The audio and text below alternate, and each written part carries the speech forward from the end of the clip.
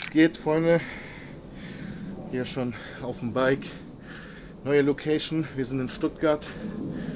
Denn am Wochenende findet die Hochzeit vom lieben Martin Hahn statt. Und da dachten wir, dass wir die zwei natürlich besuchen kommen. Ähm, Routine darf natürlich nicht außen vor gelassen werden.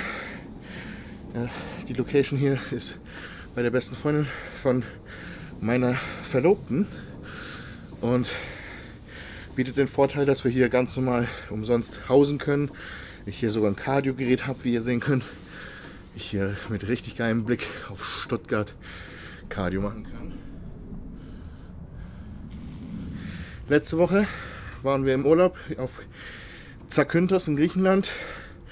Ich bin mit 122 Kilo hingeflogen, habe extra vorher ein paar Tage Low Carb gemacht und auch dort echt drauf geachtet bis Freitag. Und ab Freitag und Samstag habe ich dann richtig reingeschissen.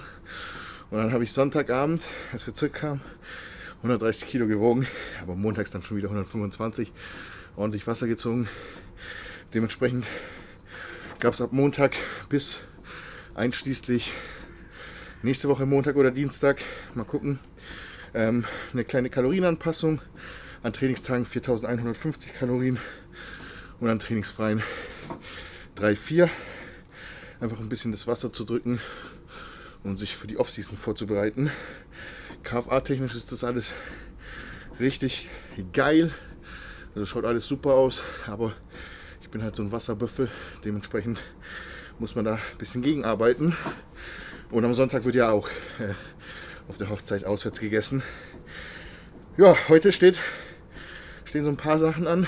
Ich werde mir Crocs kaufen. Ich habe richtig Bock auf die Schuhe. Dann gehen wir in den Nice Athletic Club nach Göppingen und werden dort Push trainieren. Habe ich richtig, richtig Bock drauf. Unglaublich geiles Studio. War ich erst einmal dort, aber äh, der Mimi weiß, was er da reinstellen muss an Geräten. Und dann geht es heute Abend nochmal zum Friseur. Einmal schick machen. Ja, wir nehmen euch heute mit, zeigen, was wir so machen, essen, trainieren, kaufen. Viel Spaß beim Video. Frisch geduscht, Frühstück wurde auch schon vorbereitet. Guckt euch das mal an. Freunde, wisst ihr, wie viel da drin ist? Und wie viel hier drin ist? Hier sind 80 Gramm Haferflocken mit, glaube ich, 800 Milliliter Wasser, 15 Gramm Flohsamenschalen, aufgekocht, heiß, ja. Und dann in die Mikro gepackt, beziehungsweise hier hatten wir jetzt keine Mikrowelle, aber das ging auch ziemlich gut mit dem Wasserkocher. Dann kamen hier noch 250 Gramm Eiklar rein, zwei Volleier und 20 Gramm Whey. Hier mal das Battle Isolat im Geschmack Vanille. Ähm, 100 Gramm Beeren, das ist mein Frühstück. Das hat glaube ich 600 Kalorien und ist halt irgendwie so ein anderthalb Kilo schwer. Für meine Verlobte, finde es so schön, das zu sagen, gibt es hier gerade mal 30 Gramm Haferflocken und das ist halt auch so ein Bottich, also mega krass. Ähm, das werden wir jetzt essen, dann werden wir ein bisschen Meal Prep machen für den heutigen Tag und dann denke ich, fahren wir in die Stadt. Kaffee ist auch am Stissel hier. Und ich muss echt sagen, ich will auch eine Kochinsel. Das finde ich super. Das sieht doch, guck mal, wie amerikanisch das hier aussieht. MacBook, Kaffee, Way. Einfach perfekt. Ja. Cardio habe ich tatsächlich nur 20 Minuten gemacht, weil das Fahrrad sehr, sehr unbequem ist und ich glaube ich mehr Cortisol ausgeschüttet habe als nach 5 Stunden Cardio. Ähm, ich werde 20 Minuten dann nochmal nach dem Training machen, sprich dann haben wir ein bisschen mehr gemacht, aber das ist völlig in Ordnung, weil wir wollen ja auch ein bisschen die Form verbessern, wobei ich echt sagen muss, hier im Spiegel, der Arsch ist streifig. Bei über 120 Kilo läuft. Ah, was machen wir hier? Hähnchen kochen. Wie viel haben wir hier? 400 Gramm. 400 Gramm für zwei Portionen. Ah ja. Hier haben wir 160 Gramm Reis und Gemüse. Kommt, kommt es kommt es in das Hähnchen rein? Ja. Okay. Äh, ich will nicht dieses komische Mischgemüse. Ja, okay. Oder nur, nur wenig. Okay. Lieber das Paprika. Okay. Danke. Bitte. Und jetzt wurde auch das Meal Prep vollendet. Ich muss echt sagen, die Mahlzeiten sehen gut aus. Ich zeige euch das jetzt mal.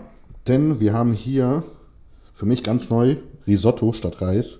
Einfach weil wir jetzt hier gerade keinen Reis hatten. Aber Risotto sollte den Job ebenfalls erledigen. Meine Freundin hat schon gesagt, sie hat es ein bisschen zu scharf gewürzt. Ich habe einmal kurz probiert, die Soße, beziehungsweise ja, die Gewürze. Ist auf jeden Fall doll, aber ich kriege das schon runter. Also hier haben wir jetzt zweimal 80 Gramm Reis, 200 Gramm Hähnchen und ungefähr zweimal 200 Gramm Gemüse. Und hier haben wir unsere Pre-Workout-Mahlzeit. 80 Gramm Rice Meal mit 50 Gramm Whey, 50 Gramm Beeren, 50 Gramm Banane, Zimt, 2 Gramm Salz, hier ebenfalls 2 Gramm Salz pro. Vasolid nehme ich mir mit für meinen Intra. Und ja, jetzt gehen wir erstmal in die Stadt.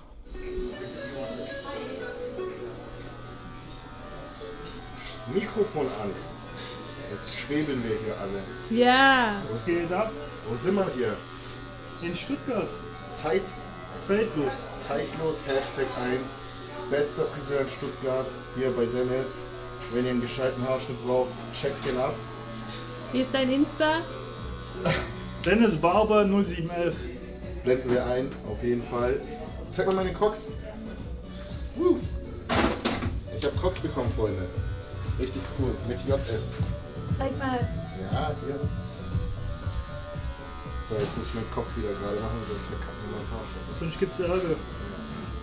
Gibt by the way keine, also das ist jetzt keine Färbung oder sonst was. Das ist nur eine Maske. Weil mir die Haare sonst ausfallen, Freunde.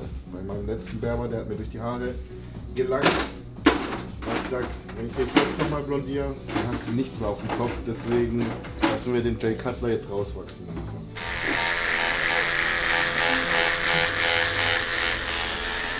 Kommt ja immer noch drauf an, wie du Konturen haben willst. Weißt du, kannst du scharf setzen oder ein bisschen abgeschwächter. Ich finde halt im oberen Bereich ist es immer gut, wenn du das scharf ziehst. Das, weil es gibt dann so diesen Kontrast Ja. wie Augenbrauen zum Beispiel. Wenn die sauber gezupft sind, sieht es halt nochmal anders aus. Und im Hals kommt dann drauf an, ob du es auslaufen lassen willst oder Ja. ob du dann, dann wirklich auch sagst, hey, krasse Kontur. Und auch noch auf die Länge.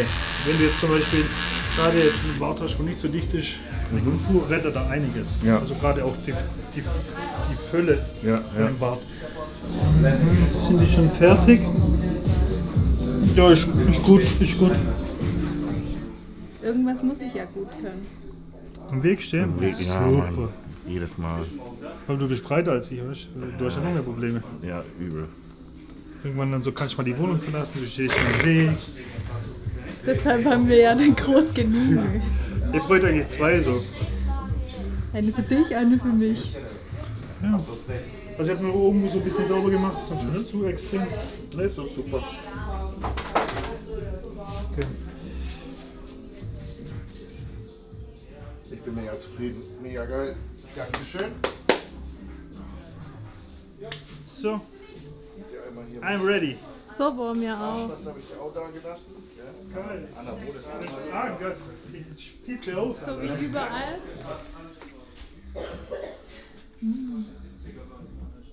Jetzt sind wir auf jeden Fall wieder fresh. Richtig fresh. Das freut mich. Aber es nervt right. mich, weil ich jetzt immer diesen Haarschnitt will. Und ich kann halt nicht immer sieben Stunden hierher fahren. Aber ich, ich habe ja Zeit. Wir haben jetzt mittlerweile 19.43 Uhr. Wir waren die ganze Zeit in der Stadt, waren ein bisschen shoppen. Ja, wie gesagt, Crocs eingekauft und gehen oder haben uns dazu entschieden, dass wir dann nach dem Friseur trainieren gehen, weil es definitiv stressfreier ist. Wir fahren jetzt zurück zu unserer Wohnung. Dann werden wir auch direkt Pre-Workout essen, weil wir ungefähr 40 Minuten ins Nice Athletic Club fahren. Und dann werden wir dort schön trainieren, hat bis 0 Uhr auf, dementsprechend passt es auch zeitlich alles. Wie gesagt, ich werde danach nochmal 20 Minuten Cardio machen und ihr könnt auf jeden Fall euch schon mal auf das nächste Video freuen, denn wir werden auch einen kurzen Formcheck dort aufnehmen. Ich fühle mich ziemlich gut, bin nicht hungrig oder sonst was. Äh, ja, jetzt fahren wir erstmal. Jetzt sind wir hier im Nice Athletic Club, Premiere auf meinem Kanal. Ich war hier erst einmal, aber jetzt gibt es das Video. Wir machen natürlich erstmal eine kleine Gym-Rundtour. Checken mal hier die Geräte ab. Also es ist erstmal, der Vibe hier ist richtig geil, wenn man hier reinkommt. Und ich habe, glaube ich, noch nie so viele Geräte in einem Studio gesehen. Deswegen laufen wir jetzt einfach mal durch, gucken. Ich weiß, dass hier alle Geräte stehen, die ich für mein heutiges Push-Training theoretisch bräuchte. Aber ich bin mir ziemlich sicher, dass ich hier einfach neue Geräte ausprobieren werde. Fangen hier direkt mal an mit ein paar Raritäten. Age Squad, die braucht kein Mensch. Absolut unnötiges Gerät von Hammer Strength. Dann haben wir hier zwei, den originalen Paramount Pendulum Langzug. Hier dann praktisch die neue Version. Hintere Schulter hatte ich auch da. Ich glaube, das ist sogar die von Paul aus dem Powerhouse in, äh, in Öhringen. Jim Leko am Start.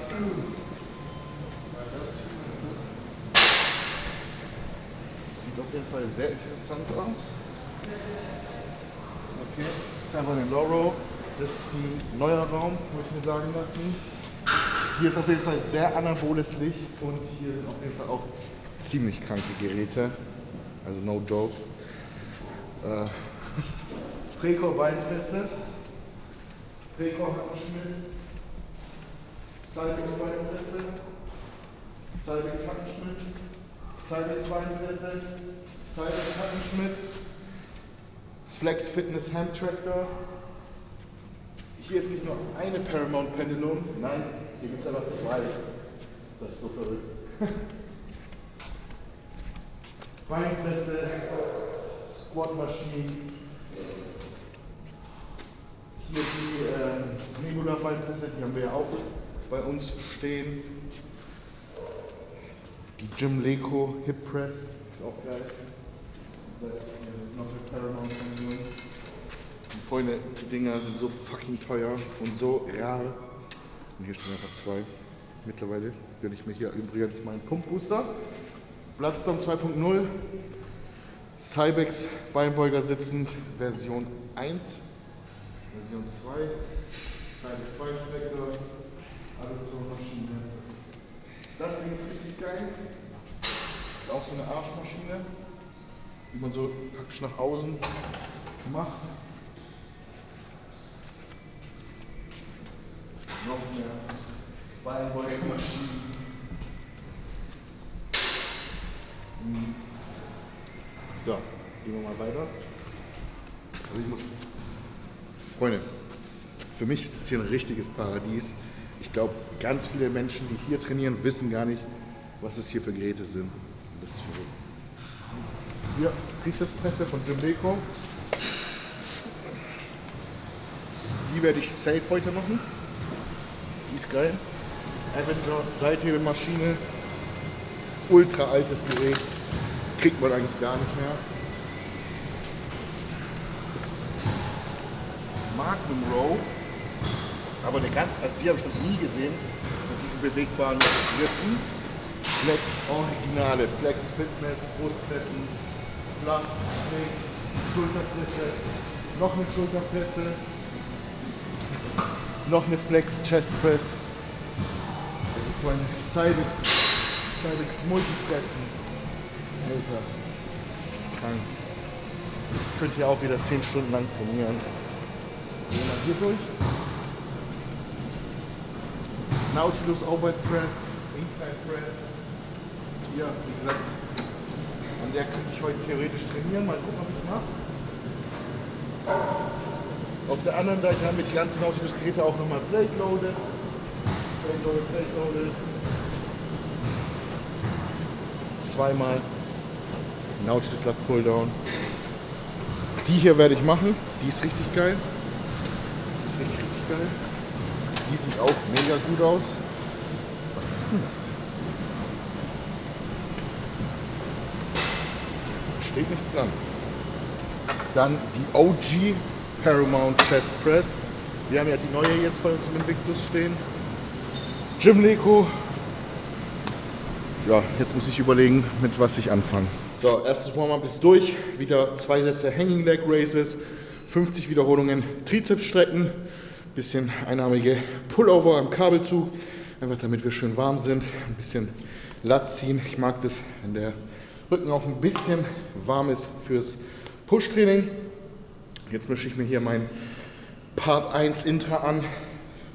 Diejenigen, die mich auf Instagram verfolgen, wissen, was es hier gibt. Eine ganze Flasche Explore Sport, entspricht so circa 20 Gramm Carbs. So. Das trinke ich so während der ersten ein, zwei Übungen leer. Und dann kommt der zweite Part von Intra. Gibt es dann im späteren Verlauf des Videos. Und zu diesem Explore Sport gibt es noch eine Portion Vasolid, 10 Gramm. Das sind unsere Elektrolyte, da ist auch noch Taurin mit drin. Also perfekt für all diejenigen, die während des Trainings erstmal viel schwitzen, einen besseren Pump wollen. Wir haben hier auch noch rote Beete mit drin und für alle Wettkampfathleten, die etwas nehmen, das auch die ganzen Asthmatiker zu sich nehmen und an Krämpfen leiden. Taurin hilft, sprich gönnt euch das Vasolid mit Jam 10. Könnt ihr mich sehr gerne bei big-zone.de unterstützen. Also erste Übung jetzt hier Y-Race am Kabel liegend auf einer Bank. Ähm, mit Cuffs fühlt sich für mich einfach am allerbesten an. Ein paar kleine Tipps und Tricks. Ja, wenn ihr jetzt hier im Stretch seid, stellt euch vor, dass ihr die Arme in die Richtung drücken wollt und dann wandern die nach außen. Stellt euch nicht vor, dass ihr irgendwie nach hinten wollt, sondern wirklich nach außen. Und Endkontraktion ist wirklich hier, natürlich haben wir dann auch ein bisschen hintere Schulter mit drin, ein bisschen oberen Rücken, aber wir haben auch die seitliche Schulter komplett verkürzt und es ist auch mega, mega geil für eure Schultergesundheit, die Übung. Und ihr seid vor allem warm für die ganzen Push-Übungen. So, erster Satz. Der läuft jetzt nicht ganz so flüssig, der Kabelzug, aber das ist schon.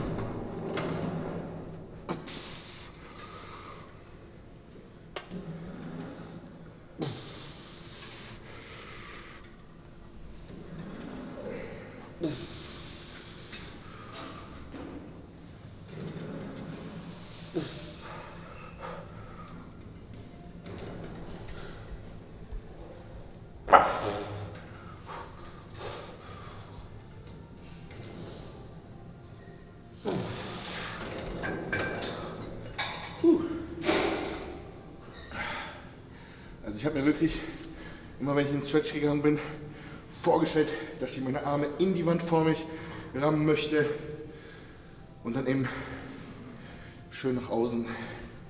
Unglaublich gutes Feeling. Der Kabelzug gefällt mir jetzt nicht so gut, muss ich ehrlich sagen. Hier muss auf jeden Fall ein Cybex oder so hin oder Free Motion. Der läuft nicht so flüssig. Und der hat auch so ein komisches Stahlband.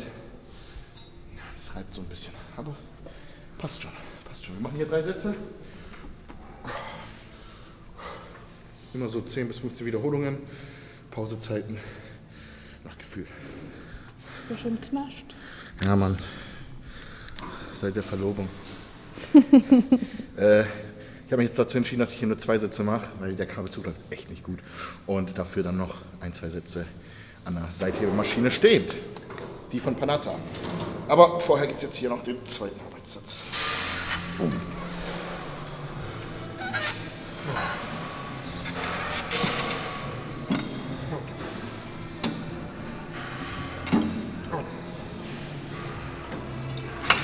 Die ist geil.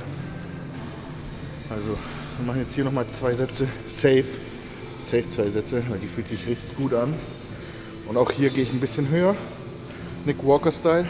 Gerade wenn der Oberarm vor dem Körper angehoben wird, kickt man den auch schön weit in die Kontraktion rein. Ja.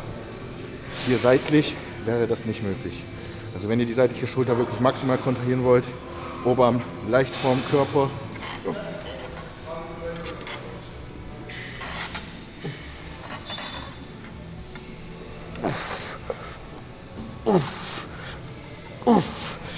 Oh. Boah.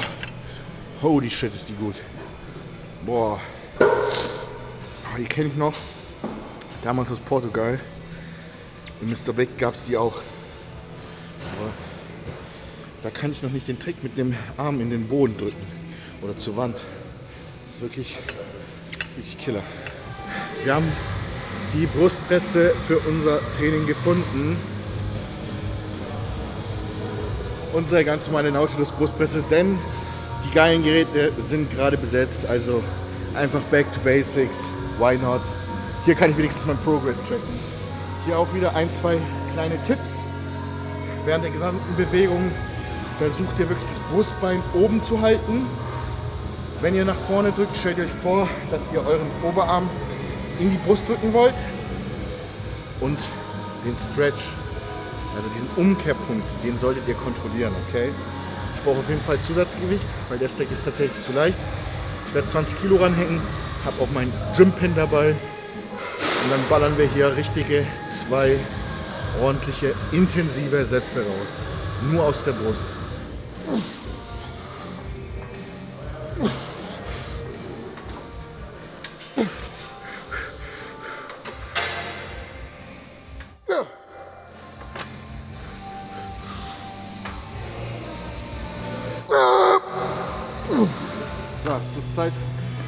Für die zweite Portion Intra.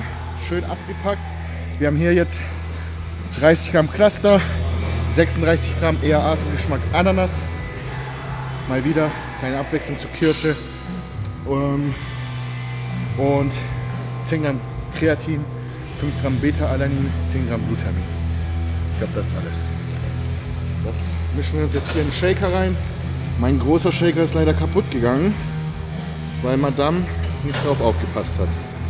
Der ist einfach runtergeflogen. Ja. Du hättest ihn selber nehmen können. So, den Rest trinke ich dann mit der zweiten Portion Wasser. War ein sehr guter Satz gerade. Die Maschine, das ist eine etwas neuere Version von unserer. Läuft also ein bisschen anders. Finde ich trotzdem gut. Ich habe ins Versagen trainiert. Ja, dementsprechend passt das schon. So lecker. Zweiter Arbeitssatz.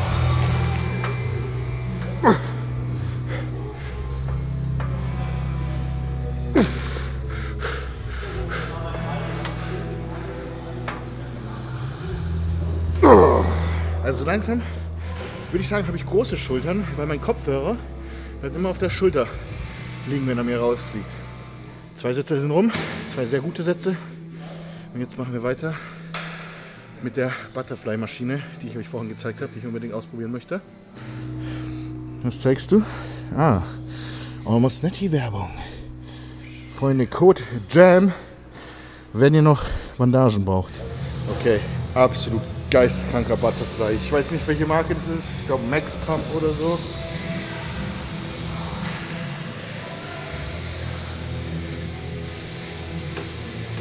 Wenn ihr diese Kontraktion spüren könntet, das ist verrückt. Das ist, man kann die Brust so richtig schön nach unten squeezen. Verrücktes Feeling. Keine Schulterschmerzen, nicht. Killer der Butterfly.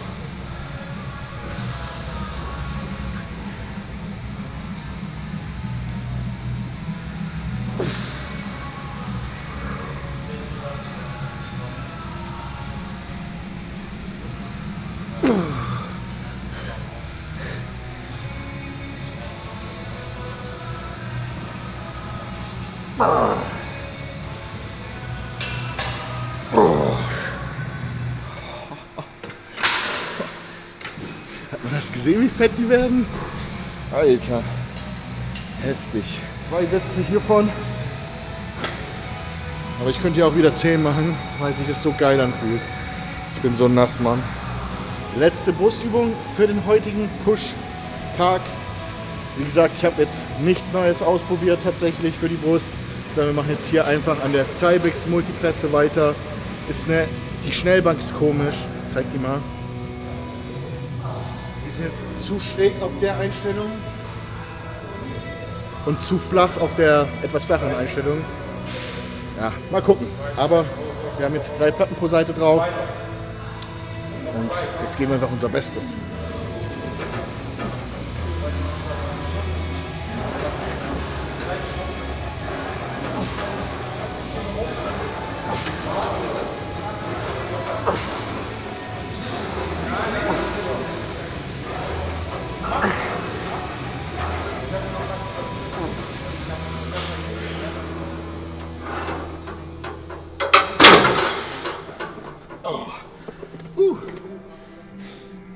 Gott sei Dank. Oh, shit.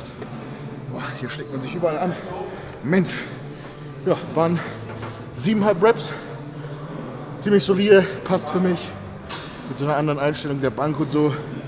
Also bei mir im Studio im Invictus hätte ich jetzt safe 8 geschafft. Aber es ist völlig in Ordnung.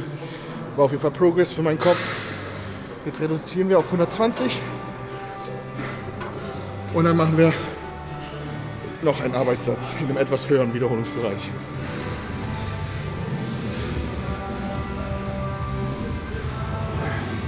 Für 123 Kilo passt, oder? Schreibt mal in die Kommentare.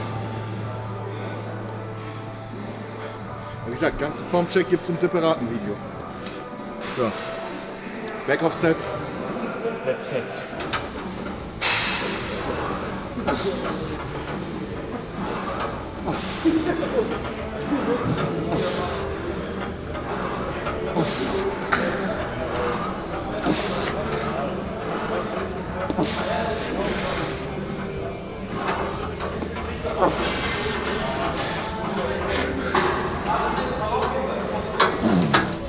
Das war auf jeden Fall zweimal Versagen, bis nichts mehr geht. Und wenn ihr dann schön aus dem Zielmuskel arbeitet, dann braucht ihr auch keine drei, vier Sätze. Aber das ist natürlich auch ein Skill, den man erstmal lernen muss. Und je fortgeschrittener man im Training ist, umso weniger Volumen braucht man. Denn es fällt einem dann definitiv leichter, den Muskel zu reizen und zu stimulieren. So. Wir machen weiter mit einer Trizeps Compound Movement. Normalerweise würde jetzt die stehende Jim Lecro Brustpresse anstehen im Enggriff. Ich mache jetzt hier die Dip-Maschine von Nautilus, die wir auch im Invictus stehen haben. Ich finde hier jetzt gerade keine andere Dip-Maschine, die ich gerne ausprobieren möchte. Aber dafür die nächste Maschine für den Trizeps wird was Neues sein. By the way, habe ich gerade die Aufnahme, die ihr gerade gesehen habt, von meinem Rücken hier an der Maschine. Und der Rücken ist auf jeden Fall noch sehr streifig. Ich würde allgemein sagen, dass ich noch ziemlich fettfrei bin. Bei mir ist es halt immer mit dem Wasser so ein Ding. Und ich merke schon wieder, dass mir so ein bisschen zu doll den Kopf zerbricht. Aber ich glaube, das ist völlig normal. Man versucht immer so ein bisschen an der Form festzuhalten. Sollte man zwar nicht, aber man versucht es dennoch. Oh.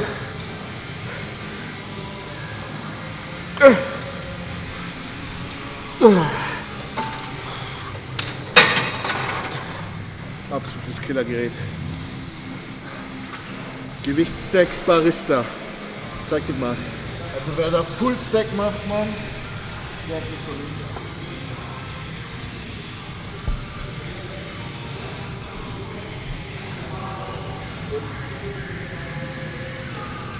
Body Masters, Overhead Triceps Extension, 10 von 10, no joke, absolut geisteskrankes Piece.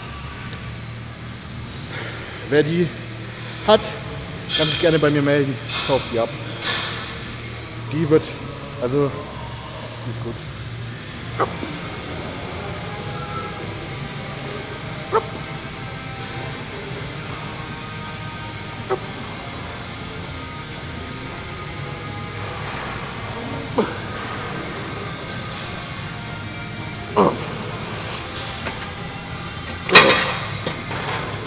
Man sich fast wie Nick Walker. Ha, Hammer. Drei Sätze hier. Davor haben wir überall zwei Sätze gemacht.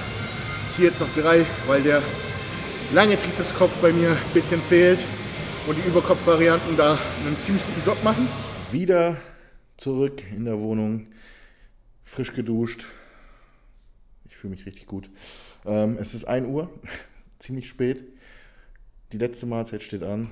Ich zeige euch, was es gibt. Ich habe ähm, übrigens in der Stadt einen kleinen Carrot Cake gegessen und noch so einen Hotdog und habe dementsprechend eine Mahlzeit jetzt weggelassen, beziehungsweise ich lasse nur die Carbquelle weg und ergänze dann praktisch das Protein. Das wäre jetzt Rinderhüfte, 250 Gramm, aber ich habe Bock auf Skir, Quark und einen Proteinpudding in Kombination mit dem hier, das Risotto. Na, das habe ich dann heute Mittag nicht gegessen. Das wird jetzt gegessen. Hier sind 100 Gramm Beeren. Hier kommen jetzt noch 200 Gramm Magerquark, 200 Gramm Skir und 200 Gramm Proteinpudding rein. Hier sind noch meine Subs. Omega-3, Kidney Plus und so weiter. Und dann war es das auch für heute. In diesem Sinne, ich hoffe, der Vlog hat euch gefallen. Vielleicht vlogge ich morgen nochmal. Ansonsten mal schauen. Gibt es auf jeden Fall am Montag äh, nochmal ein Video aus dem Nice Athletic Club. Und hiermit melde ich mich ab. Macht's gut, haut rein.